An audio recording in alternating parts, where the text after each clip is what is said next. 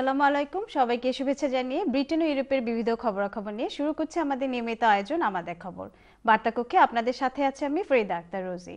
প্রথমেই জানিয়ে দিচ্ছি আজকের খবরের প্রধান প্রধান শিরোনাম।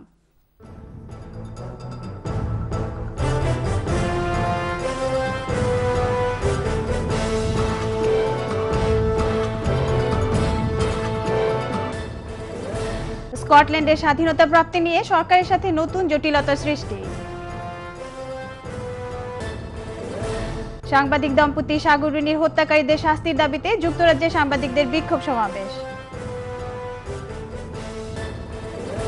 অ্যালায়েন্স ফর ব্রিটিশ বাংলাদেশি সিটিজেনের উদ্যোগে বাংলাদেশের বর্তমান সংকট শীর্ষক সেমিনার অনুষ্ঠিত।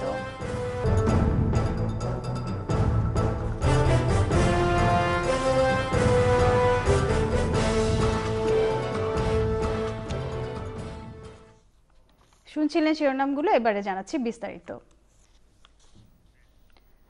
স্কটল্যান্ডের স্বাধীনতা নিয়ে ক্যাম্পেইন এখন সময় উপযোগী নয় বলে মন্তব্য করেছেন টোরি নেতৃত্বাধীন বর্তমান সরকারের স্কটল্যান্ড বিষয়ক মন্ত্রী মাইকেল মোর, এমপি। এক সাক্ষাৎকারে তিনি অক্ষত ব্রিটেন বেশি কার্যকর এবং বাস্তবসম্মত বলে উল্লেখ করেন। এদিকে সরকারের এই মন্তব্যের বিরোধিতা করে ইউনিভার্সিটি অব এডিনবরার প্রফেসর অ্যালান বয়েলি এবং Cambridge University professor James Crawford আইনি মতামত প্রকাশ করেছেন। এতে তারা বর্তমান সরকারের এই মন্তব্যের সমালোচনা করে ব্রিটেন এবং স্কটল্যান্ডের মধ্যে সম্পর্ক নিয়ে নাগরিকদের চিন্তা চেতনায় মূল্যায়ন করার অনুরোধ জানান।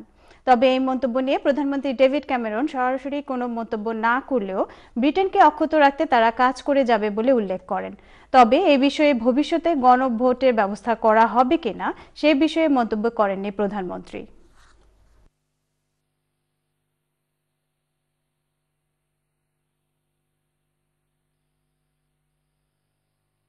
We are a strong and proud nation within a modern, devolved country. Devolution has enabled those of us who live and work in Scotland to take important decisions on issues that affect our daily lives, from what our children are taught in school to the way in which hospitals provide care to how many police officers are out on the street. Too often we have taken for granted what we have. সাংবাদিক দম্পতি সাগরুনি হত্যাকারীদের অনতি বিলম্বে চিহ্নিত করে দৃষ্টান্তমূলক শাস্তির দাবি জানিয়েছেন যুক্তরাজ্যে বাংলা মিডিয়ায় কর্মরত সাংবাদিকরা। সোমবার পূর্ব লন্ডনের আলতাবালি পার্কে এক বিক্ষোভ সমাবেশ এবং মানববন্ধন থেকে তারা এই দাবি জানান। ইউকে বিডি নিউজ সম্পাদক শোয়েব কবিরের পরিচালনায় এতে বক্তব্য রাখেন ইউকে বাংলা প্রেস ক্লাবের আহ্বায়ক রেজা আহমেদ ফয়সাল চৌধুরী শোয়েব।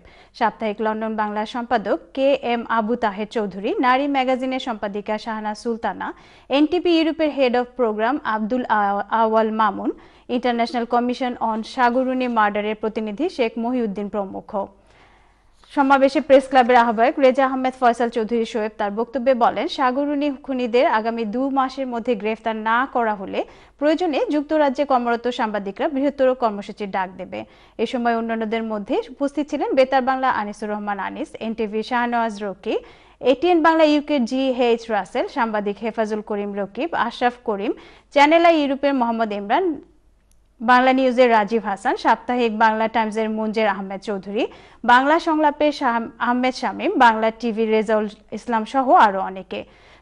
সমাবেশ শেষে এক আলোচনা সভা অনুষ্ঠিত হয়। এতে সাংবাদিক সাগররুনি হত্যাকাণ্ডের বিচার এবং পরবর্তী কর্মসূচি নিয়ে আলোচনা করা হয়।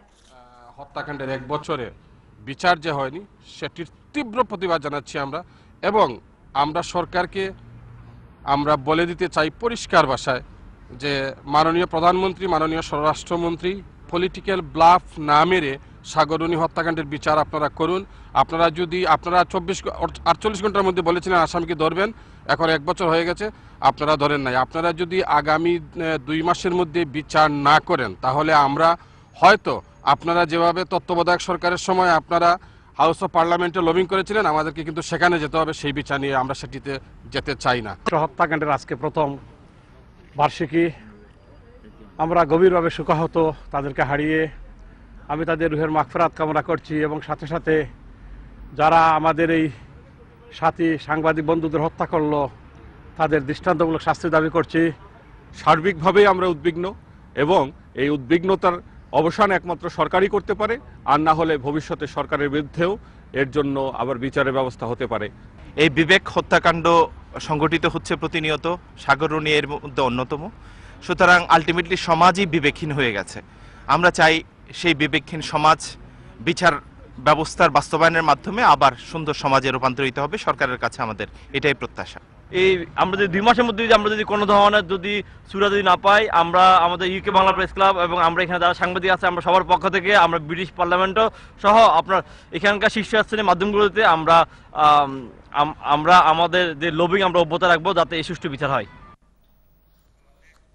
অ্যালায়েন্স ফর ব্রিটিশ বাংলাদেশি সিটিজেন্সের উদ্যোগে রবিবার সেন্ট্রাল লন্ডনের ইম্পেরিয়াল কলেজে বাংলাদেশের বর্তমান সংকট শীর্ষক এক সেমিনার অনুষ্ঠিত হয়েছে।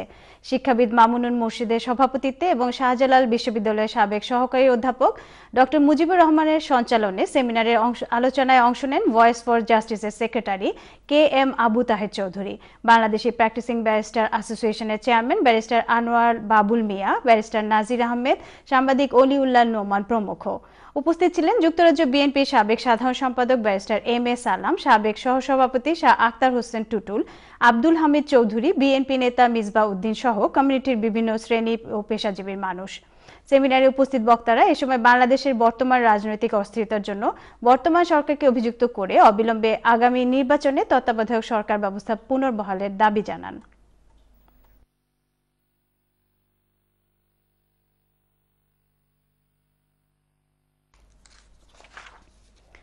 Non Resident Bangladeshi Welfare Society ইউকের উদ্যোগে মঙ্গলবার পূর্ব লন্ডনের মন্টিফিউরি সেন্টারে এক মত বিনিময় সভা অনুষ্ঠিত হয়েছে।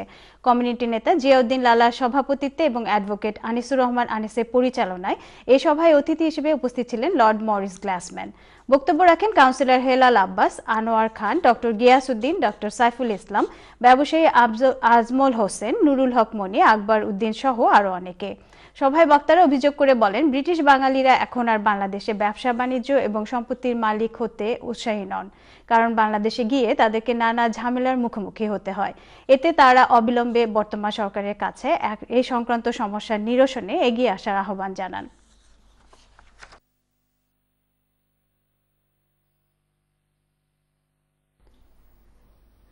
বৃহত্তর ছাতক প্রবাসী সমিতি যুক্তরাজ্য কর্তৃক আয়োজিত ছাতক থানার উত্তর খুরমা ইউনিয়নের চেয়ারম্যান বিলাল আহমেদকে সংবর্ধনা প্রদান করেছে।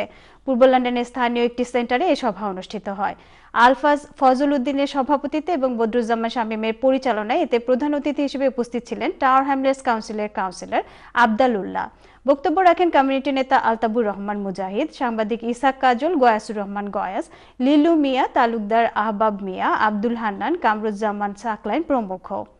সংবর্ধিত অতিথি তার বক্তব্যে এ সময় আগামীতে উত্তর খুরমা ইউনিয়নের উন্নয়নে প্রবাসে বসবাসরত সকল ছাতক এবং উত্তর খুরমাবাসীকে এক হয়ে কাজ করার জোর আহ্বান জানান।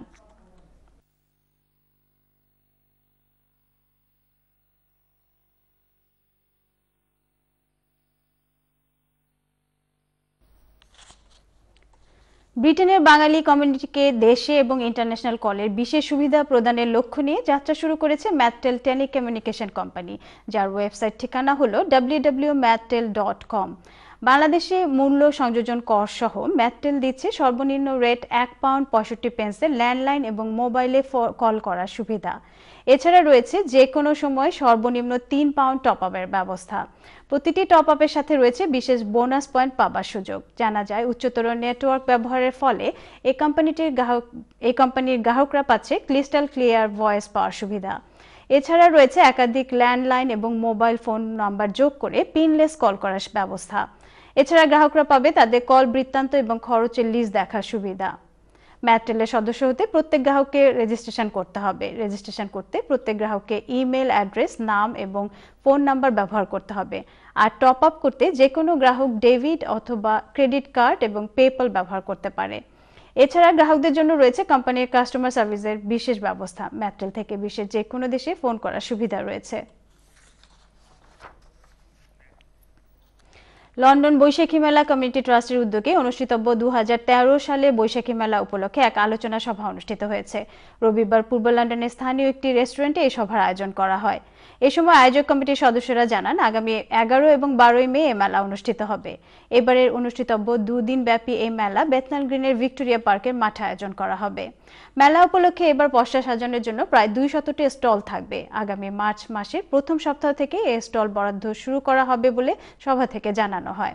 মেলাকে আরও বেশি আকর্ষণীয় করার লক্ষ্যে এবারের মেলায় বাংলাদেশের জাতীয় খেলা কাবাডি থাকবে বলে জানান আয়োজকরা। এ সভায় উপস্থিত থেকে বক্তব্য রাখেন কমিউনিটি নেতা সিরাজুল ইসলাম, মজিবুল হক মনি, আকাশ আহমেদ দীপু, ফেরদৌসি রহমান প্রমুখ।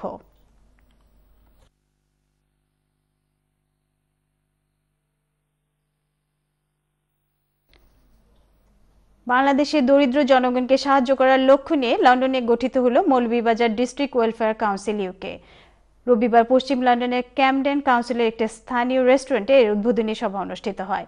অনুষ্ঠানের শুরুতেই ভাষা শহীদদের প্রতি সম্মান জানিয়ে এক মিনিট নীরবতা পালন করা হয়।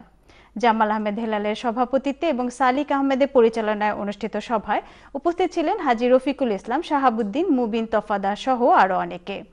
সভায় উপস্থিত বক্তারা এই সময় বলেন, মৌলভীবাজার বাংলাদেশে একটি অন্যতম ধনী জেলা হওয়া সত্ত্বেও এই জেলায় এখনও প্রবাসী বাংলাদেশিদের সাহায্য এবং সহযোগিতা করার অনেক সুযোগ রয়েছে। সভা শেষে সংগঠনের নির্বাহী কমিটির নাম উপস্থিত সকলের সামনে ঘোষণা করা হয়। এতে মোহাম্মদ জামাল আহমেদ হিলালকে চেয়ারপারসন, মোহাম্মদ সালিক আহমেদকে সাধারণ সম্পাদক এবং রফিকুল ইসলামকে ট্রেজারার করে একটি কমিটি গঠন করা হয়।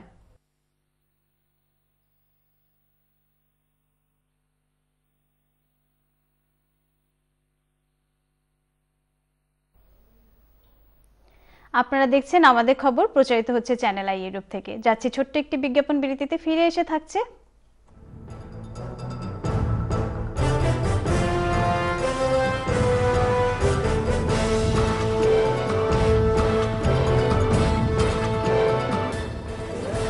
তুষারপাতকে হার মানিয়ে প্রজন্ম স্কোয়ারের সাথে একাত্মতা প্রকাশ করল ফ্রান্সে বসবাসরত বাঙালিরা। বিসিএ সাউথ ওয়েস্ট রিজনের বিজনেস নেটওয়ার্কিং সভা অনুষ্ঠিত।